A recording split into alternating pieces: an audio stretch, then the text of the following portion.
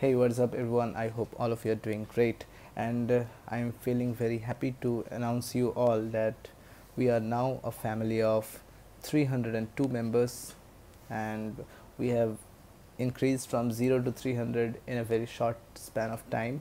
And I would like to thank all of you to that you have shown your love and support by subscribe, subscribing the channel and liking all the videos and I'm glad that my videos are helping you all in your exam preparation and आज तो बहुत भयंकर party होगी मेरे घर के बगल में जो गुप्ता जी के भजिए का दुकान है वहाँ पे and you all are invited actually not budget issues actually sorry so let's cut the crap and let's start with our video and in today's video we have the wedge shown can slide without friction on a horizontal floor. Mass of the wedge is m and its angle of inclination is theta. Okay. A block of mass m slides down the wedge without friction when released on its inclined face. If the path of the block relative to the ground makes an angle of phi that is 60 degree with the horizontal find the ratio of mass of the block to that of the wedge okay so this is a question of simple momentum conservation and basic vector velocity addition. So if i draw the diagram once again that we have a wedge okay and there is a block of mass m.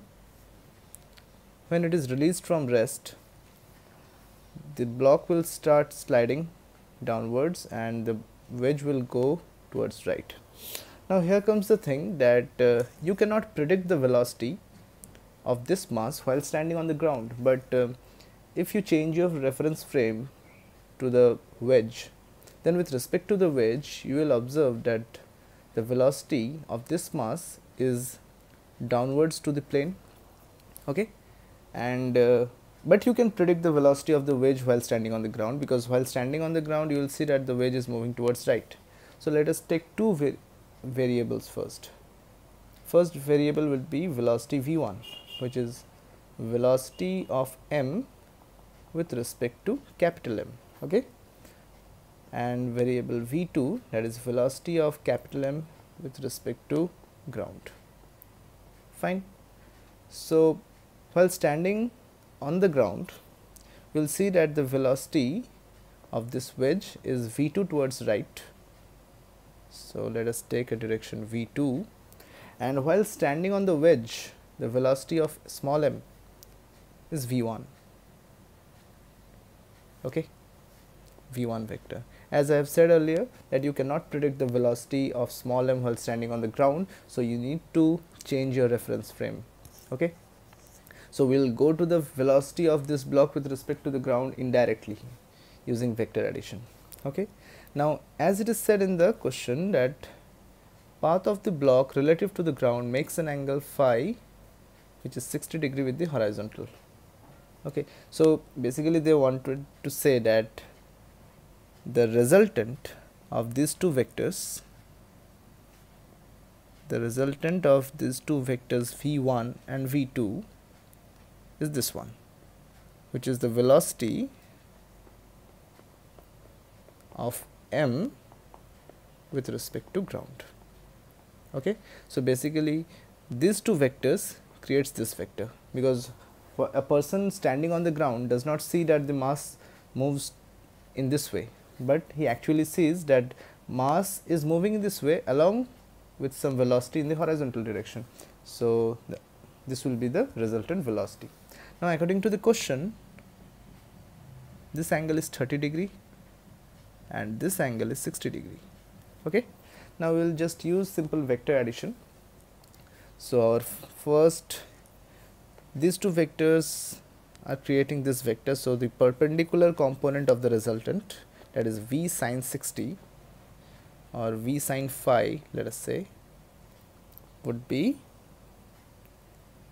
v1 sine theta and the horizontal component of V that is V cos phi is created by V1 horizontal component that is V1 sine sorry V1 cos theta minus V2 okay? Because V1 cos 60 is in this direction and this vector is created by the horizontal component of this and it is reduced by some amount due to this v2 okay? So these are our two equations at the beginning and one more thing that the velocity uh, sorry the momentum along the horizontal direction will be conserved because there is no net force in the horizontal direction. So you can write that uh, capital M times v2 equals small m times velocity of small m with respect to ground. That would be v1 cos theta okay v1 cos theta minus v2 okay. Now you can just uh, work on this for three equations and find out the ratio of small m and capital M. It is very simple that small m divided by capital M is V2 divided by V1 cos theta minus V2 so as you can see we'll use this equation to replace V2 which would give you V1 cos theta minus V cos phi divided by V1 cos theta oops. Minus v2 but hey uh, v1 cos theta minus v2 is nothing but v cos phi. So you can just replace this one as v cos phi. So you are getting v1 divided by v2 cos theta by cos phi minus 1 okay. Now you can replace v1 by v2 from this equation so v1 by v2 oops not v2 it's v. So v1 by v is sine phi by sine theta. So sine phi divided by sine theta cos theta cos phi minus 1 so that gives you tan phi times cot theta minus 1 so this is our required ratio. Now just put phi equals 60 degree theta equals 30 degree. You will get uh, root 3 again root 3 3 times 3 I mean, 2 okay? So this is our final answer. So this was a pretty simple question and clears the concept of relative velocity in two dimension and conservation of linear momentum. Very much asked in JEE advanced examination. I hope you all have liked this video. Uh, please do subscribe if you are new to this channel and do comment and thank you all again for 300 subscribers. Good luck. Have a nice day